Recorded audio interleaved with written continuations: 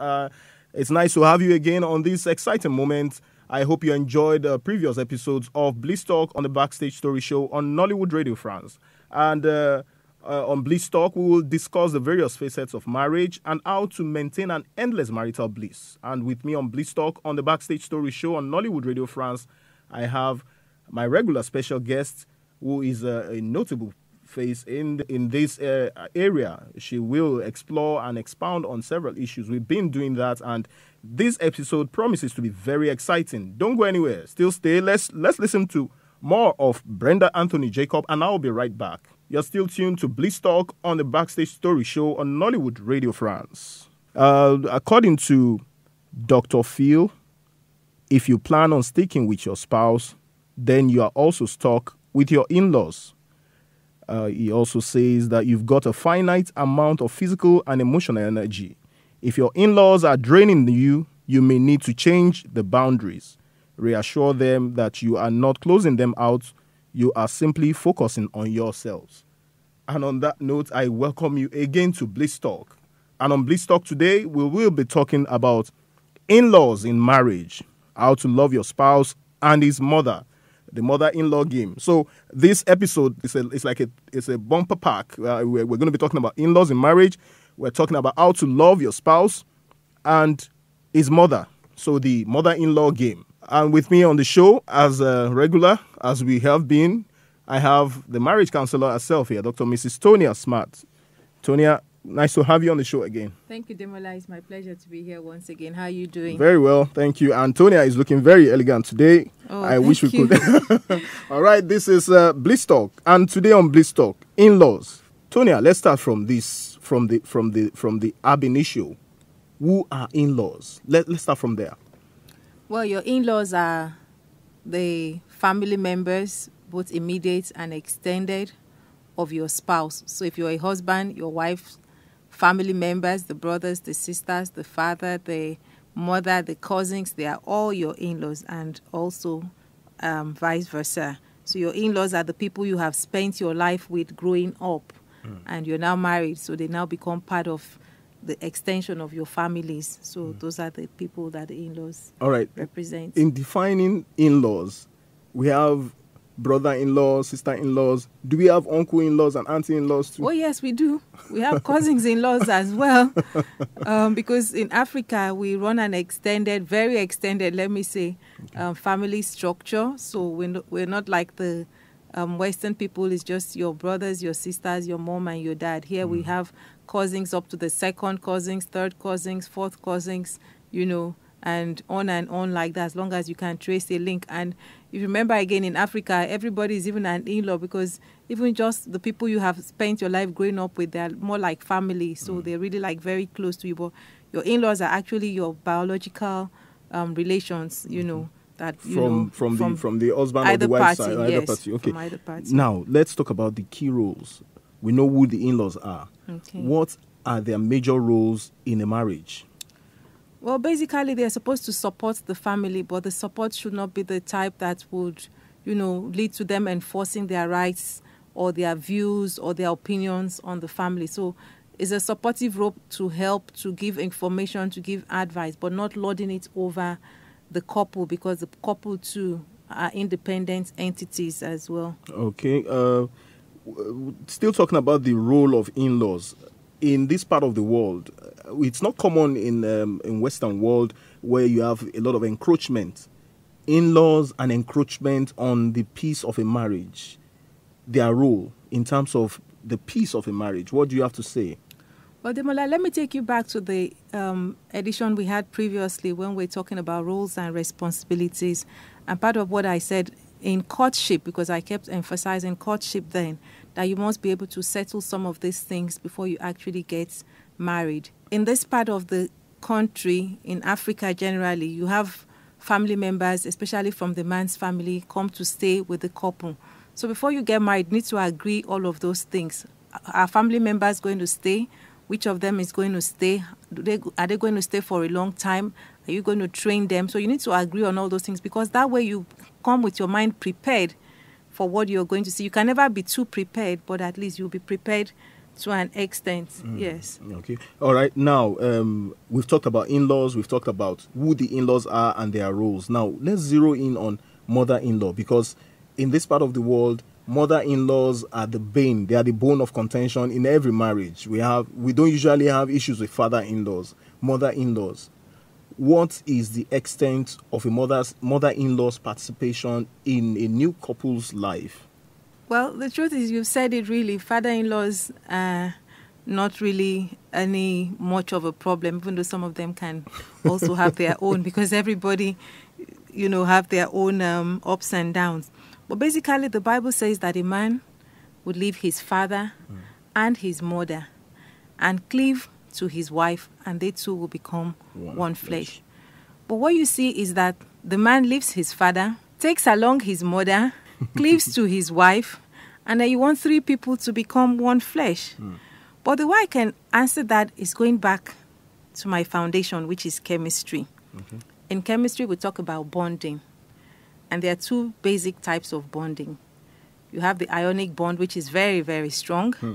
and then you have the Taking us back to covalent class now. yes, you have the covalent bond, which is not so strong. All right. And so I want to look at the relationship between a man and his mother as an ionic bond, while the relationship between himself and his father is a covalent bond.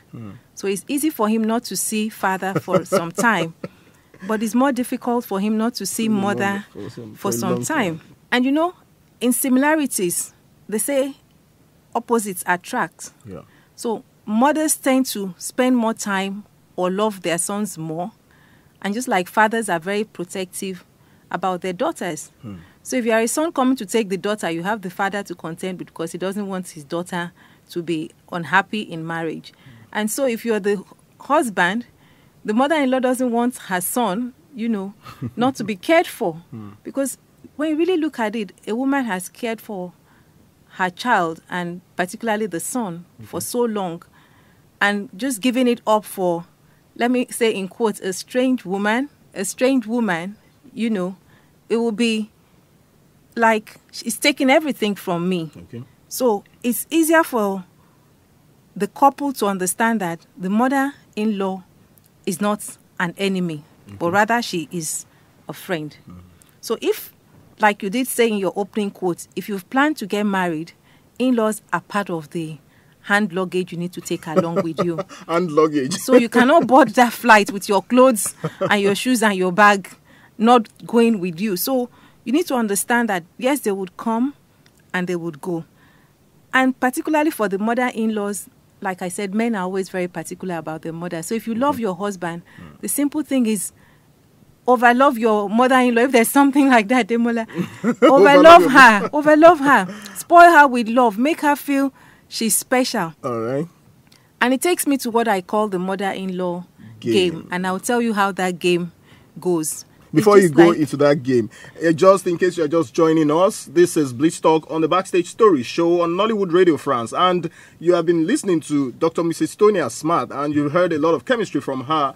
Just in case you don't know her profile, she studied chemistry at the University of Lagos. Uh, she and she also had a master's in chemistry. So that's the reason for uh, quotations from chemistry. She she's now applying chemistry to relationships as a marriage counselor. She she she has a very wonderful resume, which I have spoken about in the previous episode. And she we've been talking about bliss talk, and this topic, particularly this topic in Africa, is a serious topic of discourse, and a lot of families have, uh, a lot of marriages have collapsed because of mismanagement of in-laws. That's why we're talking about in-laws today. Don't go anywhere. Let's listen to Lamborghini Sabi Sabi before we go on to the next topic of discourse. You're still tuned to Bliss Talk on the Backstage Story Show on Nollywood Radio France. Tonia, let's go on. You are, you are saying something. Yes, Emma, I was going to make you understand how my mother in law game works because a lot of people have asked me, we keep talking about the mother in law game. Why the word game? I said, well, a game is something you enjoy doing. If you're a sportsman, you love to play tennis. So, tennis for you is both sport and game, and you hmm. enjoy it. Why? Because you look forward to having your partners, you look forward to being on the court to play, and all of that. Mm-hmm. So, also for your mother in law, you must look forward to pleasing her because when you please your mother in law, your husband is going to be well pleased with you. Mm. And so, how does this game work? Very simple. If you have your mother in law staying with you, you know that your husband likes everything well for his mom. So, the game goes like this you make sure that your mother in law is well fed, and you give her the Or best. overfed. Yes, yes. and you give her the best food. Okay. The best, the best Yes, food. the best Now, before you go into that, the best food definition to to a mother-in-law may be very, very, you know, may be very critical because sometimes what you think is the best, the mother-in-law may not accept as the best. Well, Demola, that's the game we are coming into. If, for instance, your husband doesn't like Eba Okay. and his mom loves Eba, Hmm. you would say to your husband, My darling, Mama would like to eat Eba.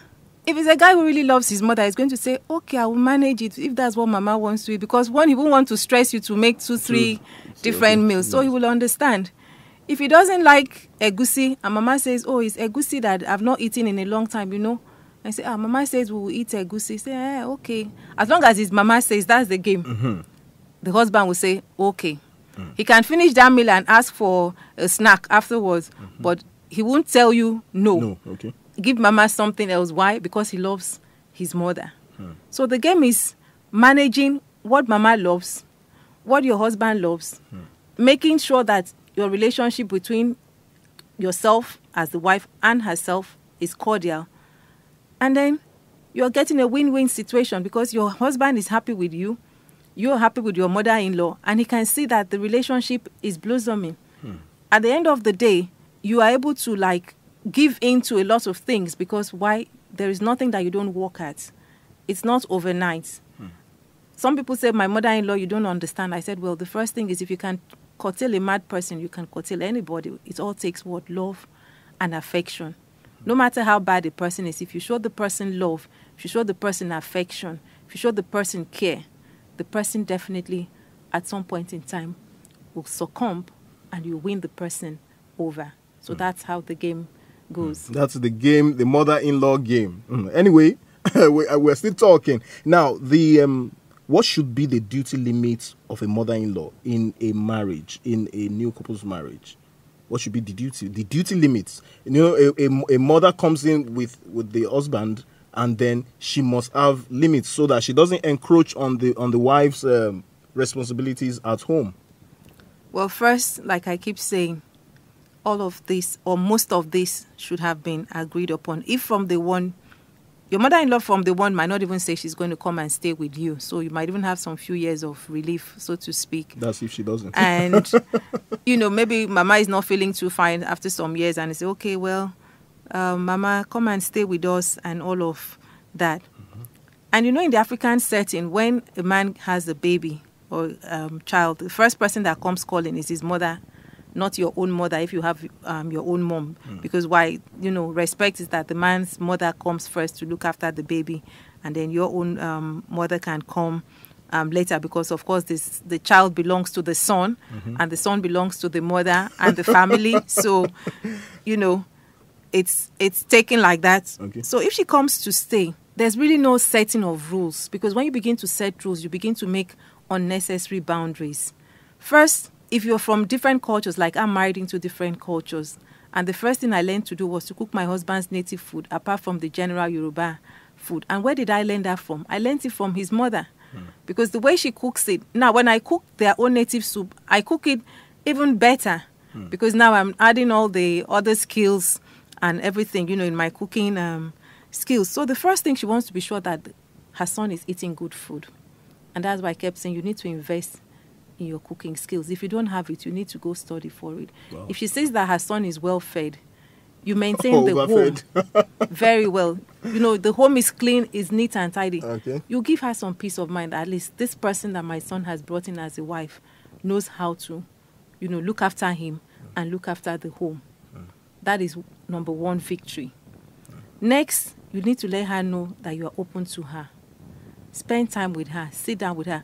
There are sometimes when I say some things to my husband, he's like, I know you must have been talking to Mama because there's no other person that would tell me. So I know a lot about the family history. I know a lot about his growing up from where, from a mother's perspective. And like I said, sometimes I'm amazed all the things she would tell me that I'm like, oh, she can tell me because why? She feels I'm more like a daughter and not a daughter in law.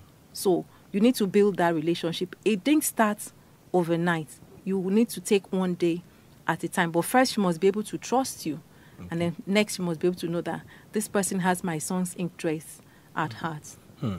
All right, this is still Bliss Talk on the Backstage Story Show on Nollywood Radio France, and uh, you've been listening to the voice of Dr. Mrs. Tonia Smart, and uh, you need to know that she's a she's a chemistry, she's grounded in chemistry, and she's applying the knowledge of chemistry to marriages so that there will be proper chemical reaction, so that there will be there will be no explosion. Uh, now let's talk about stubborn mother-in-law. So mother-in-laws can be very cantankerous. Why? Because probably they did not like the um, spouse from the beginning, and the boy, the son, eventually married that girl into that house. Now, what they want to do, they have someone else pictured in their mind that they want, they feel their son should marry. There's problem, and the the the, the boy or the son is attached to mommy's apron strings. How will the couple manage, or particularly the husband? How is he going to manage between the mother-in-law and and and the wife in that situation? that that is the easiest situation for me, Demola. Wow. And that is really the truth. It's easiest because first that he disobeyed his mom or he did not succumb to his mom's wishes to marry whoever she had in mind means there is something about you that is very fundamental to him. Okay. And for me, that is the winning streak for any game in mm. marriage. That is the winning that he can leave every other thing and say, This is the person I want to spend my time with. Next is for you to now appreciate when you know that this man is going to stand by me and overflowing love in his path. And like I say, if you love him, his mom would want the best. There is no mother that doesn't want the best for any child, now whether male or female. Mm. But like I keep saying, more because of the mother son relationship. Okay. So if she sees that, oh, all her fears, because most of the time when such issues are is that she's afraid that maybe this person is going to you know overshadow me okay. and like i said once you're able to make her trust you love her make sure that she has what she desires within you know your own abilities and she sees that you're really taking care of her son mm. gradually those fears would give way her mm. son comes home she sees that the home is happy is peaceful so there's really nothing for her to worry but when she sees that, oh, this person does not, you know, give my son peace of mind, that's when she's going to go, you know, the other way. Mm. So that's what they're really looking out for. Somebody who is going to care for my son as much as I've cared for him. Let me make you laugh. You know, over the weekend, I was discussing with some friends, and they were like, in laws, what do you really expect from them? I'm like, you don't expect anything. Because just like you have every individual have their good, they have the bad, they have the ugly. But the major thing is that you focus more on the good and let it cover the bad and the ugly. So at the end of the day, your mother in law is not your enemy. Mm. And once you understand that, she's here because she has an interest to protect. And like every mother would also one day want to become a mother in law. So if you don't take care of your mother in law, you want somebody else to take care of you. And you know what is fair is fair.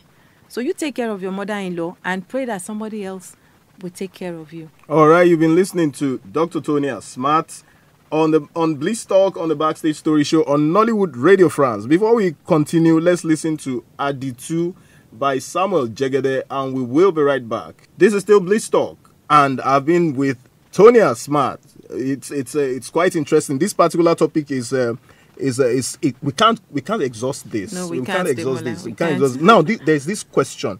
There's a school of thought that that believes some mothers actually advise their sons that um or their daughters that don't marry any guy that is um, attached to the apron string. Any mommy's boy that won't take responsibility, that won't take his foot and say this is what I want, this is my home. Don't marry that kind of person. Marry a guy that because some some men are because they are so fond of their mom any issue that comes up between the couple, they take it out and then report to the mom. What do you have to say about this? Does well, it mean the, the man is not matured enough to be married or what? The man is very mature, Demola, and luckily I'm married to a mommy's boy. luckily, and, and I and I'm with all sense of pride. I'm married to a mommy's boy. In mm-hmm. my um, in-law side, everybody knows that my husband is mama's favorite. So Mama has been with us for as many years as I can think of. Wow. If, if she goes to any of the other um, places, she's like, I want to come back to Tonia's place. I want to go back and see um, Tonia, you know. Why? Because there is peace. And she says that I'm looking after her son, and her son is happy. And so she's happy with me. Hmm. And she's happier with me because I make out time to spend with her. I make out time to talk with her. Mama is 84. Wow. And, you know, every time she sees me, she's like, I'm happy my son married you. Hmm. And for me, I think that is, I'm done. I've done a good work. Like wow. Paul I'm would say. clapping for you. and You've and done I'm a excited. good job. yes. Very excited. And Because- you, you would want to marry your husband again. You I would, I would definitely. I would. All right, this is Bliss Talk on the Backstage Story Show on Nollywood Radio France. This episode, wow, it's exciting. It's uh, it's we can't exhaust it in one. But uh, before we go further, let's let let me ask you to to drop your lines so that people can actually call in once they listen. They want to call. They want to. A lot of people have issues with their in-laws and. It's quite um, it's quite uh, disturbing how in-laws in-laws issue in marriage is uh, disrupting a lot of marriages and causing divorces. Now let's have your email and your number for for people that would like to call later. Well, if you'd like to call me, you can reach me on 234 816 654 6231. That's 234 Nigeria 816 654 6231. And my email is tonia.smart at yorkcityltd.com. Tonia.smart at yorkcityltd.com. All So right, I'll be that happy is- to listen and, you and know, to get, get back. feedback. All right, that's Yes. Tonia Smart. And if you want to reach me on the email, demola.sanyaolu at gmail.com, or you can call me on 234 809 872 6926. 234 809 872 6926. Now, let's go to this question marriage responsibility first or in-laws responsibility first some people marry and the, the family of the wife move in with them they don't consider the space of time that they should spend together now the husband is caught between satisfying the home and satisfying the in-laws what do you have to say You must strike a balance. Every wise man must learn to strike the balance. Your family is your first priority at any point in time. You cannot feed others and your family is going hungry. So your family is your first priority. But you must learn to balance. Your family can make sacrifices, don't get me wrong, when I talk of priority. Yes, you can give up some some luxuries, let me put it like that, so that you know you can um, reach out to your in-laws, but at the same time you don't um, you know cut your nose to spite your face. So you must strike a balance. You must strike a balance. The in-laws will make demands, yes, but you must know where to you know start the demands and end the demands, and your family should not suffer while you're trying to meet up to their demands. all right striking that balance I'll, I'll pick you up from there again. Striking that balance this relationship is fresh. We're just getting to meet each other and we want to spend it's not courtship because we were not living together during courtship. Now we're spending quality time together just to understand each other and then we have third party and you said uh, three is awesome Yes, three is awesome. but but what what in in this in this context you know in african context if husband and wife do not have time to study and understand each other and then there's this burden of of family and in-laws responsibility you think the man won't won't get to his limits you think he won't want to seek for for rest or something elsewhere First and foremost, marriage is a lifetime period of learning. I have been married for, like I said, over two decades. This is 21 years coming in now. And I've not had, from day one, I've been married with my husband and family and friends. So I've never really had the husband, wife, only you kind of um, stuff, really. If you have it, like I said, it's beautiful. It's a good time to enjoy yourselves, get to know one another. But the learning is a continuous thing. So it's not whether there is a third party. My take is that as long as the other parties understand their rules, meet with the rules and regulations that you both have set, and work within those rules, then there wouldn't be any friction. And all of that boils down to how the woman handles the home. I was just saying to a friend this morning that it's very vital for a woman to secure her home. Secure her home in the terms of make sure that everybody is in harmony. Because if whether it's your in-laws or your own siblings, they must show basic things like respect. courtesy, and you know, make sure that the home is neat and tidy. Hmm. So when all of that is done, give and take, there will be human differences, but it must be differences that can be managed and not escalated. Hmm. So if the home is peaceful, the husband will be happy to come home. You also will be happy, you know, to have him at home. And once your in-laws or your siblings they see that the home is quiet, then they would, you know, fall in line and do the things that they need to do. All right, uh, this is still Bliss Talk on the Backstage Story Show on Nollywood Radio France. I will be talking about in laws in marriage and how to love your spouse and his mother. That's the mother in law game. And uh, uh, to, to, to expound on this topic has been Dr. Tonia Smart. She's been expanding and with, with I can't I can't imagine how much information database she has. Now there's this popular saying that the other woman in every man's life is his mother.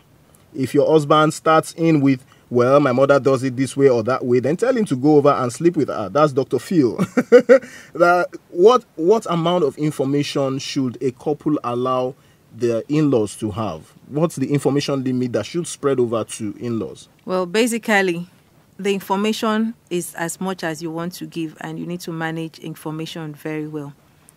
Um, like I just said to you, I said I spent time with my mother-in-law, and I know more about my husband's background that even I'm sure he would know. I can I can recite his father's siblings. I can recite his mother's siblings. I'm sure he wouldn't even know the order. If he remembers, I would probably remember more accurately. You know, and because like I said, everything you need to work at. If you're in primary school and they give you A level biology, you're not going to pass. Why? Because you've not reached that level. So you must work each day for what it presents. And that's why I said marriage is a continuous process. You can't learn everything saying I'm stable with my husband. You can stay together for the next two years. Doesn't mean you know more than somebody who is staying with the in-laws. Why? Because you can even be together and you're just sitting down and you're not even communicating. Hmm. So it's not the time you spend together, but it's how well you utilize that period that you're together that you know is really, really important. All right. Uh, this is um, one of Dr. Phil's advice. He says if a wife has a problem with her mother in law, it's the husband who needs to step in and help fix it. Likewise, if a husband doesn't see eye to eye with his in laws, his wife needs to step in. The person with the primary relationship, that's the son or the daughter, not the in law, needs to be the messenger. Now, um, settling rifts between uh, a mother-in-law and and the and the and the and the wife, or a, a mother-in-law and the son, should it be resolved by the other person? Yes, because you know your you know your other party very well. The man knows his mother very well, and just like you know, you want to be sure that you know you're doing the right thing because you can't confront her anyway Okay. by all standards. So it's best you speak to your spouse, and your spouse will know the best way to channel the issue and to resolve it amicably. So definitely no confrontation. Let your spouse either way. If it's the husband's spouse, then you know. I mean, the husband's family, then he knows how he's going to talk with his brother or his sister or his mother. And if it's your own family, you know how you would talk to them, and they will understand you. Why? Because you're coming from years of being together. Again, talking about the bonding, you shared time, so you know their take, you know how they would feel, and you know how they would react. So it's best left to the um, either party, you know, to resolve whatever um, differences that um, may come up at any point in time. Wow, wow. I hope you've enjoyed this episode. Um, this is still Bliss Talk on the Backstage Story Show on Nollywood Radio France. Uh, but before we sign off, I need you to enjoy this sonorous track by McCall, Nothing to Say. And we will be right back on Bliss Talk on the Backstage Story Show on Nollywood Radio France. Yeah, this is still Bliss Talk on the Backstage Story Show on Nollywood Radio France. Now, what general information or what overview, uh, we're talking about everything we've discussed now, what, what do you have to say about couples and their in laws? To summarize everything. one word love every person love every party. Love can do so many amazing things. I keep saying love and it's like well how do you love? How do you love? You just love one day at a time. That's just it. Respect is something that is key. Respect your in-laws make them feel that you value them and take care of them and when i say take care of them i mean you take care of them let them see you as somebody who is caring. Let them see you as somebody who is part of them. don't let them see you as an in-law because an in-law is an outsider. Let them see you as a sister. Let them see you as a friend and be there for them just like you'll be there for your own direct um, sibling. So once you're able to cement that relationship, invariably you're going to drop the in-law kind of relationship and work as brothers and sisters. All right, this is Bliss Talk, and you've been listening to the voice of Dr. Mrs. Tonia Smart. She's from Sapele in Delta State, and she studied chemistry at the University of Lagos. She also had a second degree in chemistry. Uh, she had a MBA in management from the University of Nigeria, Nsukka. She also studied, uh, she had a doctorate degree in counseling psychology from Evangel University, Monroe, USA. She is an endowment of information. And on this note, I say thank you, Tonia, for this exciting episode. We cannot exhaust this topic, but if you have questions, Tonia, you need to drop your line again. Well, you can reach me on 234 816 654 6231. 234 816 654 6231. And your email? Email tonia.smart at yorkcityltd.com. Tonia.smart at L- yorkcityltd.com. All right. So look forward to hearing from you. Look all forward to there. hearing from you all over the world. Uh, if you have any questions, you can talk to Tonia. And you know, on this last note, let me take this quote from Judith Viorst. It says, One advantage of marriage is that when you fall out of love with him or he falls out of love with you, it keeps you together until you fall in again. And on that note, I say thank you for staying tuned. This is Bliss Talk.